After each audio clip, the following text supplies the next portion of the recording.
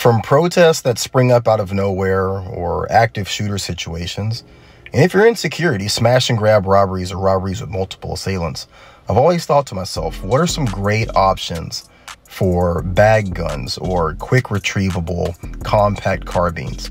Today, I'm going to be looking at the Kel-Tec Sub 2000. It's the folding 9mm carbine and this thing is pretty sweet. Able to fit into a backpack or even be stored uh, in a lockable locker or desk. This is something that can be brought out uh, and utilized in a situation where you need a little bit more range and distance than just your pistol. Uh, today, I'm going to be using a offset mounted hollow, Holosun, excuse me, optic. Uh, it swings right over from the outside. Now with this folding, uh, the way that it does, you have to have the swivel mount. Otherwise, you won't be able to fully collapse this. This firearm fits perfectly in your standard backpack and it takes your standard Glock 17 magazines. You can even use the extended Glock 17 magazines for 30 rounds like I'm using today.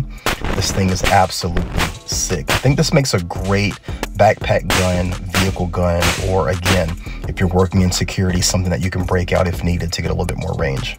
Be great.